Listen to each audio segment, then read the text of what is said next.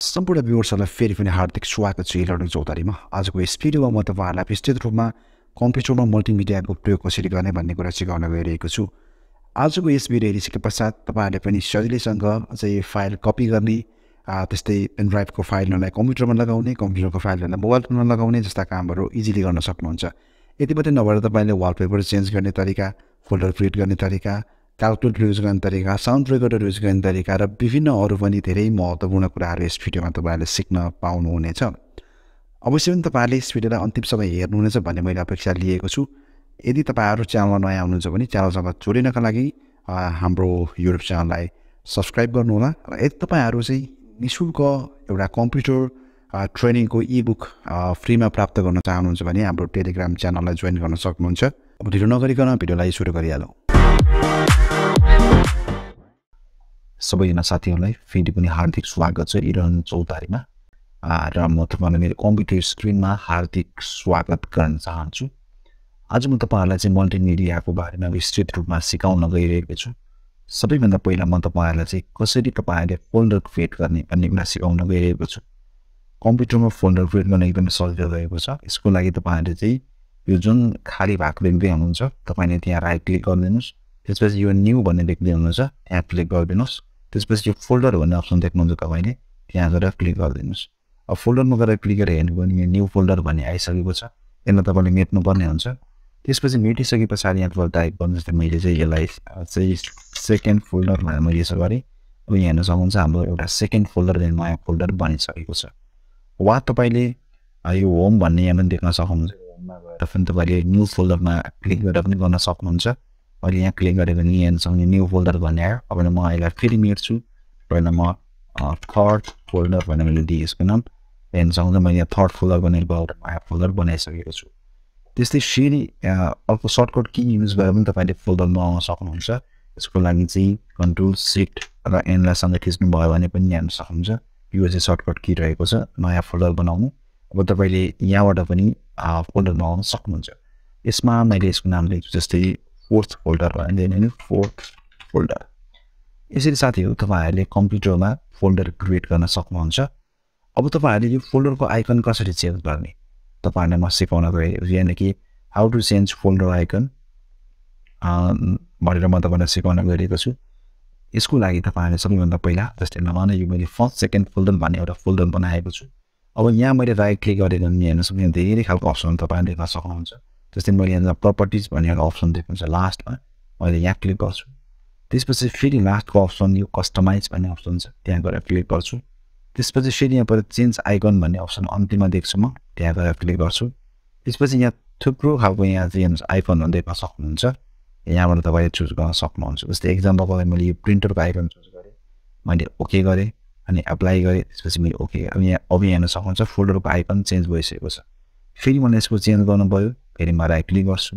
फेरि प्रपर्टिजमा आउँछु अनि फेरि कस्टमाइजमा जान्छु। त्यसपछि चेन्ज आइकन अब यहाँबाट मलाई जुन राख्न मन छ म त्यसलाई चुज गर्छु अनि ओके गरिदिन्छु। एप्लाई ओके अब हेर्न सक्नुहुन्छ यो आइकनको यो फोल्डरको आइकन चेन्ज भइसकेको छ। अब यसलाई फेरि पहिलाको जस्तै बनाउनु पऱ्यो भने म राइट क्लिक गर्छु। फेरि म यसको प्रपर्टीमा जान्छु अनि फेरि म कस्टमाइजमा जान्छु अनि फेरि यहाँ चेन्ज आइकन जान्छु अनि यहाँ गएर स्टोर डिफल्ट हुन्छ त्यहाँ गएर क्लिक गर्छु। त्यसपछि म फेरि एप्लाई गरिदिन्छु फेरि म ओके गरिदिन्छु। अब यहाँ हेर्न सक्नुहुन्छ यसलाई एरियालाई मैले लोड गरेर हेरेँ भने यो हाम्रो फोल्डरको आइकन चाहिँ फेरि के भइरहेछ? पहिलाको जस्तै अवस्थामा पुगिसकेको छ। यसरी तपाईँहरूले फोल्डरको आइकन चेन्ज गर्न सक्नुहुन्छ। यसले गर्दाखेरि हामीलाई फोल्डर चिन्नु सजिलो हुन्छ है साथीहरू। अब म तपाईँहरूलाई चाहिँ सिकाउन गइरहेको छु। एउटा फोल्डरबाट अर्को फोल्डरमा फाइलहरू कसरी कपी गर्ने? यहाँनिर how to copy file from one folder to another folder अब म तपाईँहरूलाई इजिली एउटा फोल्डरमा भएको फाइलहरू चाहिँ तपाईँहरूलाई अर्को फोल्डरमा कसरी ट्रान्सफर गर्ने कसरी कपी गर्ने भन्ने कुरा सिकाउन गइरहेको छु। ओके साथीहरू अब यहाँ हेर्न सक्नुहुन्छ मैले एउटा फोल्डर रहेको छ होइन? यो फोल्डरको नाम भनेको बेसिक कोर्स भन्ने रहेको छ। अब यो कम्प्युटर बेसिक कोर्स भन्ने यो फोल्डरबाट चाहिँ म मेरो फाइलहरूलाई अर्को फोल्डर रहेको छ। जस्तै मैले चाहिँ यो फोल्डरहरूलाई चाहिँ म यो फोल्डरमा लगेर जान चाहन्छु है जस्तै यो फोल्डरको नाम के रहेको छ जस्तै यो फोर्थ फोल्डर भन्ने फोल्डरभित्र चाहिँ मैले अघि देखाएको फोल्डरबाट कपी गर्न चाहन्छु। भने सबैभन्दा पहिला तपाईँ यो फोल्डरमा जानुपर्ने जस्तै मैले यो यो फाइलहरू कपी गर्दैछु। म पहिला यो फोल्डरमा जान्छु। त्यसपछि जुन जुन फाइलहरूलाई कपी गर्नुपर्ने हो त्यो फाइललाई मैले सिलेक्ट गर्नुपर्ने हुन्छ। सिलेक्ट गर्ने तरिका धेरै खालको तरिकाहरू छन्। एउटा सजिलो तरिका भनेको किबोर्डमा एउटा कन्ट्रोल बटन भन्ने हुन्छ त्यो किबोर्डको कुनामा हेर्नुभयो भने त्यो हुन्छ। सिटिआरएल पनि देखाएको हुन्छ त्यसलाई सर्ट फर्ममा तपाईँले कन्ट्रोल बटन थिचिराख्नुहोस् त्यसपछि जुन जुन फाइललाई कपी गर्ने त्यो फाइललाई क्लिक गर्दै गर्दै जानुहोस् यसरी। त्यसपछि कपी गर्नुहोस्। कपीको लागि तपाईँले राइट क्लिक गरेर चाहिँ कपी नगरेर क्लिक गर्दा पनि हुन्छ। होइन भने तपाईँले चाहिँ किबोर्डमा कन्ट्रोल र सीलाई सँगै थिच्दा पनि हुन्छ। त्यसपछि तपाईँले अब यो कपी गरिसकेको फाइललाई जुन फोल्डरमा लगेर जानुपर्ने त्यो फोल्डरमा जानु जस्तै मैले अघिको परिप्रेक्षमा भन्दाखेरि फोर्थ फोल्डर भन्ने मैले लगेर जानुपर्ने छ मैले यसलाई डबल क्लिक गरेँ खोलेँ अब यहाँ के भन्दैछ? दिस फोल्डर इज एन्टी यानि यो यानि यो फोल्डरमा कुनै पनि फाइलहरू छैन। अब यो फोल्डरमा मैले फाइलहरूलाई पेस्ट गर्नुपर्ने हुन्छ। यसको लागि तपाईँले राइट क्लिक गर्दा यो पेस्ट भन्ने अप्सनमा क्लिक गर्दा पनि हुन्छ। नभएदेखि किबोर्डमा सर्टकट की भनेको कन्ट्रोल र भीलाई सँगै थिच्नुभयो भने पनि हेर्न सक्नुहुन्छ। हाम्रो फाइलहरू चाहिँ यसमा कपी भइसकेको छ होइन? यसरी तपाईँहरूले एउटा फोल्डरमा भएको फाइलहरूलाई अर्को फोल्डरमा कपी गर्न सक्नुहुन्छ। यदि तपाईँहरू चाहिँ आफ्नो कम्प्युटरमा भएको फाइललाई मोबाइल फोनमा कसरी लगाउने पेन ड्राइभमा कसरी लगाउने एसडी कार्डमा कसरी लगाउने एक्सटर्नल ड्राइभहरूमा कसरी लगाउने भन्ने कुरा जान्न चाहनुहुन्छ भने मैले अलरेडी एउटा भिडियो बनाइदिएको छु। तपाईँहरूले त्यो भिडियो पनि हेर्न सक्नुहुन्छ। मैले त्यो भिडियो अलरेडी मैले मेरो युट्युब च्यानलमा अपलोड गरिसकेको छु। त्यो भिडियो हेरिसके पश्चात पनि तपाईँहरूलाई चाहिँ अब त्यो विषयमा पूर्ण रूपमा जानकारी हुनेछ हुन चाहिँ तरिका यही हो तपाईँले यही तरिका युज गरेर चाहिँ आफ्नो फाइलहरूलाई आफ्नो इमेजेसहरूलाई फोटोहरूलाई विभिन्न खालका चिजहरूलाई चाहिँ कम्प्युटरबाट मोबाइल फोनमा लगाउने तरिका पनि यही नै रहेको छ साथीहरू। अब म साथीहरूलाई चाहिँ कुनै पनि कम्प्युटरमा कसरी चाहिँ जिप फोल्डर क्रिएट गर्ने? यानि कि जस्तै जिप फोल्डरमा चाहिँ तपाईँले विशेष गरेर धेरैवटा फाइलहरूलाई चाहिँ एकैपटकमा कम्प्रेस गरेर पठाउन सक्नुहुन्छ। कम्प्रेस भन्नाले जस्तै इमेलहरू गर्दाखेरि जस्तै लगाउनु तपाईँलाई दस बाह्रवटा फाइलहरूलाई चाहिँ एउटै फोल्डरमा लगाएर पठाउनु पऱ्यो भने तपाईँले जिप फोल्डरहरूको प्रयोग गर्न सक्नुहुन्छ र यसको अर्को फाइदा भनेको जिप फोल्डरमा तपाईँले चाहिँ पासवर्डहरू पनि लगाउन सक्नुहुन्छ जसले गर्दा तपाईँको फोल्डर सिक्योर पनि हुन्छ। अब त्यो कसरी बनाउने भन्ने कुरा म सिकाउन गइरहेको छु। यसको पनि प्रोसेस सेम रहेको छ क्लिक गर्नुहोस् न्युमा जानुहोस्। त्यसपछि तपाईँले हेर्नुभयो भने एउटा फोल्डर रहेको छ कम्प्रेस्ड जिफ्ट फोल्डर भन्ने छ। त्यहाँ गएर क्लिक गरिदिनुहोस्। अब यहाँ न्यू कम्प्रेस्ड जिफ्ट फोल्डर भन्दैछ। यसलाई हटाइदिनुहोस् होइन? त्यसपछि तपाईँले चाहिँ अब के गर्नुहोस् भन्दाखेरि चाहिँ यसको मैले नाम लिन्छु। New sorry password zip folder भनेर मैले यसको नाम दिएँ त अब यदि तपाईँहरू चाहिँ यसलाई विन रार पनि भन्ने एउटा यो विन रार भन्ने सफ्टवेयर पाउँछ होइन त्यो सफ्टवेयर चाहिँ अब तपाईँले इन्स्टल गर्नुपर्ने हुन्छ यदि तपाईँहरूलाई कसरी इन्स्टल गर्ने भनेर थाहा छैन भने म यो भिडियोको डिस्क्रिप्सनमा एउटा लिङ्क दिन्छु त्यो लिङ्कमा क्लिक गरेर एउटा वेबसाइटमा गएर तपाईँहरूले त्यो चिजहरू पढ्न सक्नुहुन्छ त्यहाँ आर्टिकलहरू पढ्न सक्नुहुन्छ अब हेर्न सक्नुहुन्छ यहाँ पासवर्ड जिप फोल्डर भनेर म एउटा बनाइसकेको छु। अब यसको साइज चाहिँ बाई डिफल्ट बाइस बाइट भनेर देखाइरहेको छ। यो फोल्डरमा र यसमा फरक भनेको त्यही हो जस्तै यसमा यो यो टाइपको फोल्डरहरूले नर्मल फोल्डरहरूमा त्यस्तो कुनै बाइटहरू खासै धेरै युज भएको हुँदैन भने यसमा चाहिँ सुरुमै बाइस बाइट भनेर देखाइरहेको छ। अब जस्तै यो जिप फोल्डरभित्र फाइलहरू राख्नु पऱ्यो भने के गर्छु भन्दाखेरि चाहिँ सबैभन्दा पहिला चाहिँ यो फोल्डरलाई म खोल्छु। सरी यो जिप फोल्डरलाई मैले खोलेँ अब खोलिसके पछाडि चाहिँ के हुन्छ भन्दाखेरि चाहिँ मैले यसलाई मैले क्लोज गरिदिएँ। अब यहाँबाट यो एड भन्ने अप्सन देखाउँछ तपाईँले त्यहाँबाट क्लिक गरिदिनुहोस्। त्यसपछि तपाईँले चाहिँ कुन फोल्डरको फाइलहरू राखेको छ अघि मैले फोर्थ फोल्डरमा चार पाँचवटा फाइलहरू राखेको थिएँ मैले। अब यसलाई क्लिक गरेँ अब यी सबैलाई म सिलेक्ट गर्छु त्यसपछि म गरिदिन्छु ओके। अब हेर्नु सक्नुहुन्छ ओकेमा जानुभयो भने यहाँसँग मैले चार पाँचवटा फाइल सिलेक्ट गरिसकेको छु। अब यसमा पासवर्ड लाउनु पऱ्यो भने यहाँ हेर्नु सक्नुहुन्छ सेट पासवर्ड भन्ने एउटा बटन देख्नुहुन्छ त्यहाँ गएर क्लिक गरिदिनु भयो भने तपाईँले चाहिँ इजिली पासवर्ड लाउन सक्नुहुन्छ। मैले यसमा पासवर्ड लगाइरहेको छु। यदि मैले सो पासवर्ड गरेँ भने हेर्न सक्छु मैले यहाँ वान टू थ्री भन्थेँ मात्रै मैले यसमा लगाइरहेको छु। त्यसपछि मैले ओके गरिदिएँ त्यसपछि मैले ओके गरिदिएँ अब हेर्न सक्नुहुन्छ यो जिप फोल्डर चाहिँ पासवर्ड प्रोटेक्टेड भइसकेको छ। यसरी तपाईँले चाहिँ जिप फोल्डर पे गर्न सक्नुहुन्छ। अब यो जिप फोल्डरलाई मैले डाइरेक्टली इमेलमा अपलोड गरेर पठाउन सक्छु वाट्सएपमा अपलोड गरेर पठाउन सक्छु भाइबरमा सेन्ड गर्न सक्छु होइन? मैले यी चारवटा फाइलमा अलग अलग पठाउनु परेन मैले। यसको प्रयोग त्यही रहेको छ। यो बाहेक अरू पनि धेरै खालको कुराहरूमा यसको प्रयोग गर्न सक्नुहुन्छ साथीहरू तपाईँहरूले है? अब म तपाईँहरूलाई चाहिँ कम्प्युटरको वालपेपर कसरी चेन्ज गर्ने भन्ने कुरा सिकाउन गइरहेको छु। कम्प्युटर वालपेपर चेन्ज गर्न एकदम सजिलो रहेको छ। सबैभन्दा पहिला तपाईँले जुन फोल्डरमा फाइल राख्नु भएको छ त्यहाँ जानुपर्ने हुन्छ। ओके साथीहरू यहाँ हेर्न सक्नुहुन्छ जस्तै मैले यहाँ एउटा सेकेन्ड फोल्डर भनेर फोल्डर बनाएको छु यहाँ फोटोहरू राखेको छु। अब यो फोटोलाई चाहिँ मैले वालपेपर फोटोमा राख्नु पऱ्यो। म के गर्छु भन्दाखेरि चाहिँ पहिला सबभन्दा पहिला यसलाई खोल्नुपर्ने हुन्छ। हेर्न सक्नुहुन्छ मैले यसलाई खोलेँ होइन? तर यो चाहिँ अहिले के भयो भन्दाखेरि चाहिँ अर्कै प्रोग्राम नखोल्यो। यसको लागि चाहिँ म सिधै जुन फोटोलाई वालपेपर बनाउने त्यहाँबाट राइट क्लिक गर्छु। अब राइट क्लिक गरेपछि तपाईँले चाहिँ सिधै यो अप्सन खुल्छ। सेट एज डेस्कटप ब्याकग्राउन्ड भन्छ त्यहाँबाट क्लिक गरिदिनु भयो भने तपाईँले चाहिँ कम्प्युटरको वालपेपर इजिली चेन्ज गर्न सक्नुहुन्छ है साथीहरू। जस्तै तपाईँलाई यो फोटो वालपेपर बनाउनु मन लाग्यो भने होइन अब जुन फोटोलाई वालपेपर बनाउने त्यसमा तपाईँले पहिला क्लिक गर्नुपर्ने हुन्छ। त्यसपछि राइट क्लिक गरेर चाहिँ सेट एज डेस्कटप ब्याकग्राउन्डमा क्लिक गर्नुपर्ने हुन्छ साथीहरू। अब साथीहरू म तपाईँहरूलाई चाहिँ कम्प्युटरमा कसरी अडियो प्ले गर्ने कसरी गीतहरू बजाउने भन्ने कुरा सिकाउन गइरहेको छु। यो एकदम सजिलो प्रोसेस रहेको छ। यसको लागि तपाईँले चाहिँ सबैभन्दा पहिला एउटा मिडिया प्लेयर जसमा तपाईँले गीत अथवा भिडियो हेर्न सक्नुहुन्छ त्यो चिजलाई इन्स्टल गर्नुपर्ने हुन्छ। विन्डोजमा चाहिँ अब by default Windows media player भन्ने एउटा चाहिँ मिडिया प्लेयर्स इन्स्टल भएर आएको हुन्छ होइन? त्यो चिज पनि तपाईँले युज गर्न सक्नुहुन्छ नभए भिएनसी प्लेयर भन्ने ओपन सोर्स रहेको छ तपाईँले त्यो पनि चलाउन सक्नुहुन्छ। जस्तै मलाई जस्तै यो गीत बजाउनु पऱ्यो भने म के गर्छु भन्दाखेरि यसलाई म यहाँ क्लिक गर्छु। त्यसपछि यसलाई म गर्छु डबल क्लिक डबल क्लिक गरेर हेर्न सक्नुहुन्छ यो गीत प्ले हुन सुरु भइसकेको छ। यहाँ तपाईँ हेर्नुभयो भने टाइमहरू माइनस भइरहेछ होइन? त्यो मात्रै नभएर यसलाई मैले राइट क्लिक गरेर यसमा बिना चिजहरू यसमा युज गर्न सक्छु है? अनि त्यसलाई प्ले पसको कुराहरू छँदैछ। भो यदि भोल्युमहरू बढाउनु पऱ्यो भने म यहाँबाट गर्छु। वा तपाईँ यसो गर्न सक्नुहुन्छ। अब राइट क्लिक गरिदिनुहोस्। त्यसपछि तपाईँले यहाँबाट चाहिँ ओपन विथ भनेर अप्सन देख्नुहुन्छ।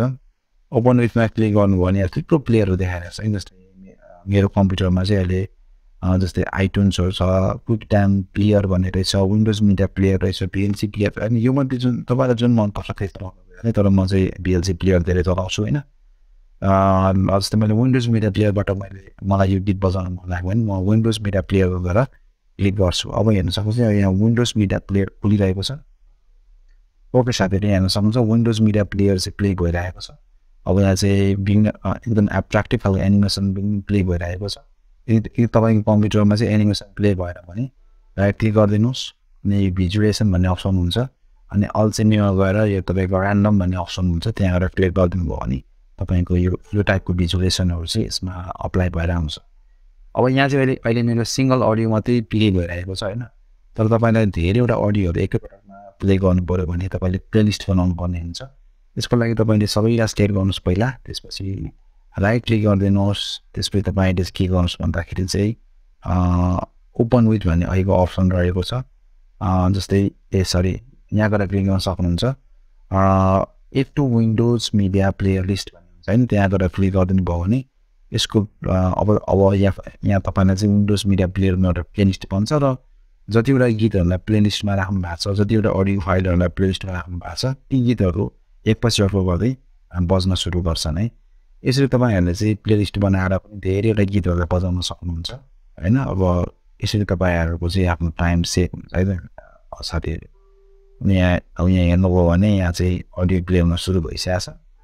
अब यहाँबाट तपाईँले विभिन्न खालको आफैले प्लेलिस्टमा राखेको सङहरू जस्तै हेर्नु सक्नुहुन्छ यहाँ जस्तै अर्ली अप्रिल भन्ने एउटा सङ प्ले भइरहेको छ। र यहाँ मैले यो नेक्स्ट बटनमा क्लिक गरेर फ्लुट्स भन्ने अर्को नेक्स्ट सङ चाहिँ प्ले भइरहेको छ त्यही नेक्स्टमा क्लिक गरेको चाहिँ यहाँ नेक्स्ट एन्ड द डिभिजन हामीले एउटा थुप्रो सङ प्ले भइरहेको छ यसरी तपाईँले अलग अलग सङहरू प्ले गर्न सक्नुहुन्छ र अर्को कुरा भनेको चाहिँ म्युजिक बजाउँदै कसरी तपाईँले काम गर्नु भन्ने लागिरहेको होला यसको लागि तपाईँले पहिला यसरी म्युजिकहरू प्ले गरिदिनुहोस् होइन त्यो बनाएर प्ले गर्दैन तपाईँ एउटा मात्रै सुन्ने हुन्छ जुन गीत बजायो भने त्यसमा गर्दैन दुईचोटि क्लिक गरिदिनु है त्यसरी तपाईँले यहाँमाथि यो माइनस सिम्बल यहाँ माथि खुल्दामा यो माइनसमा क्लिक गरिदिनु भयो भने त्यो चाहिँ मिनिमाइज भएर तल पर्छ है?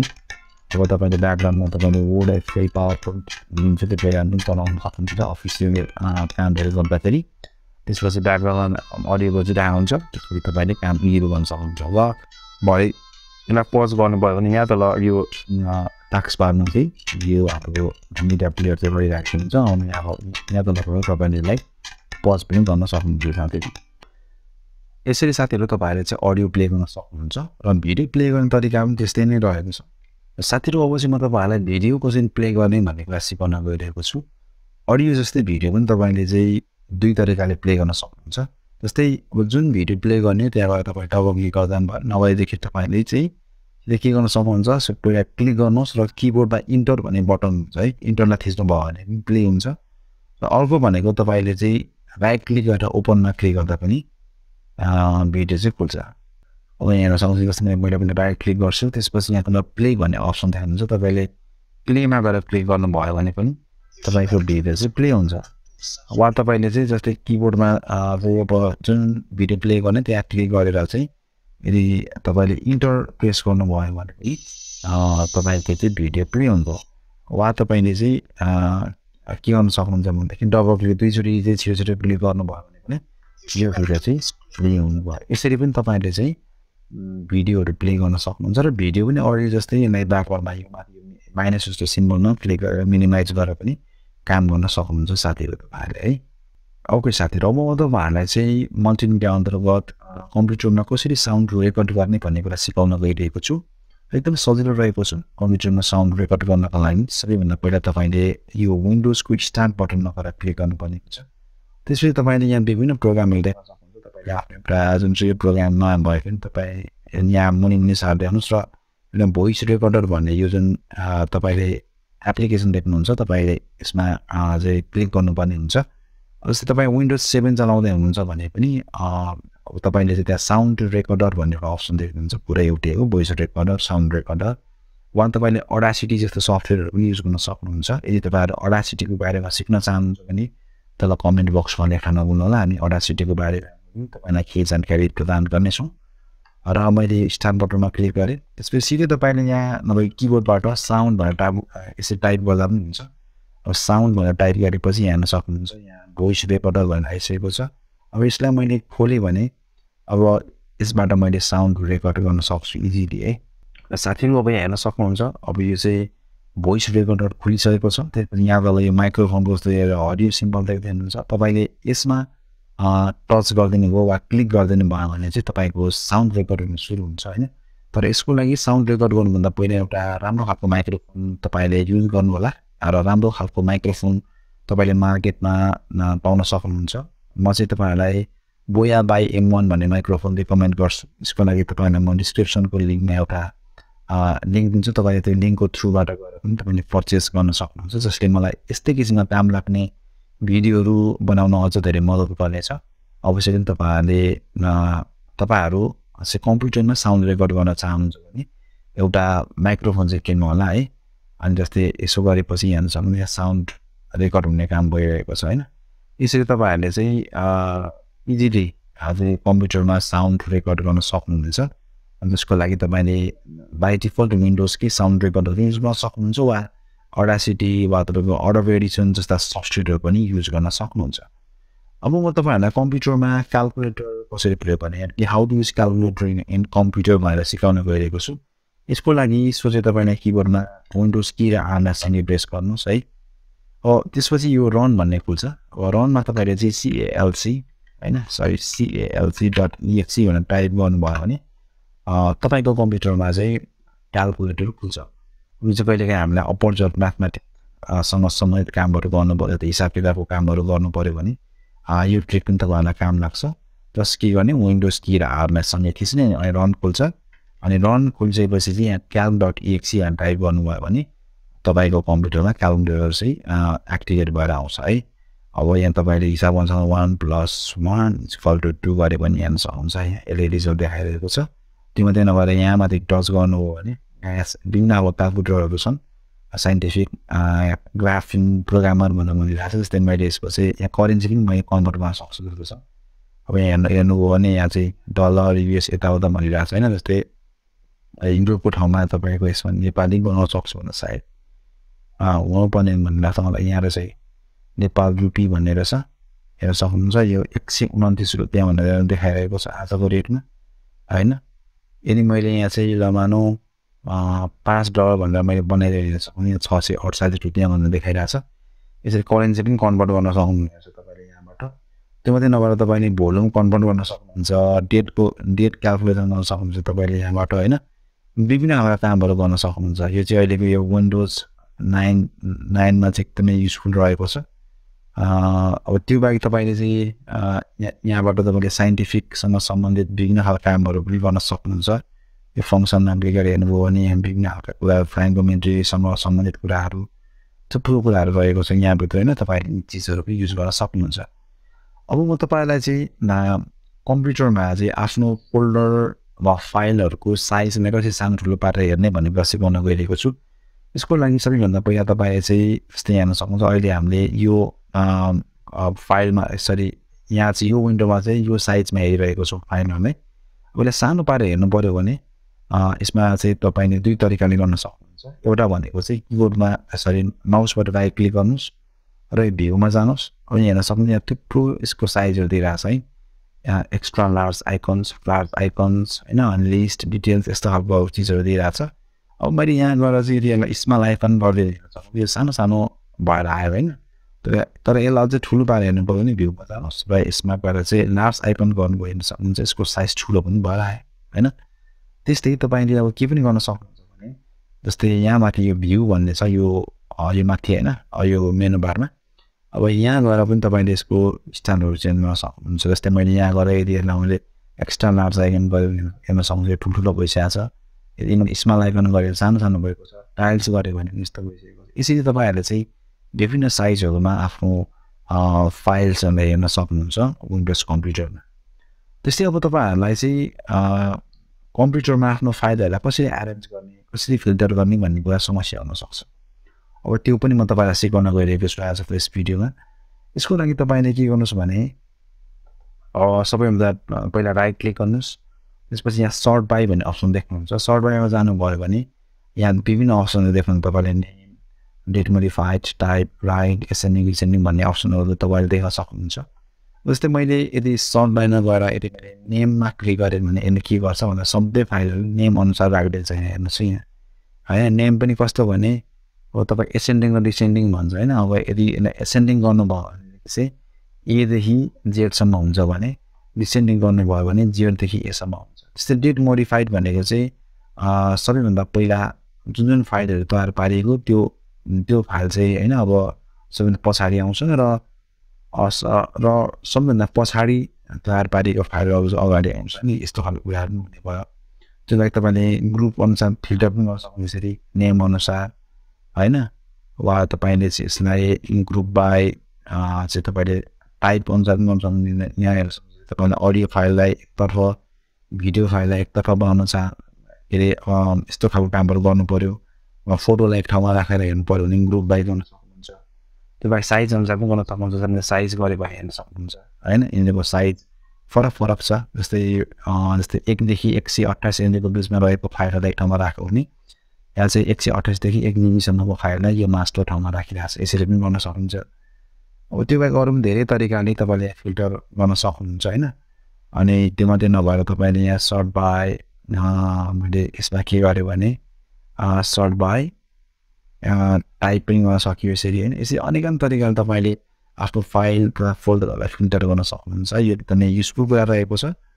अब त्यही कुरालाई तपाईँले यहाँ माथिबाट जस्तै विन्डोजको चाहिँ यो माथिको जुन मेनु भएको छ त्यहाँबाट पनि तपाईँले गर्न सक्नुहुन्छ।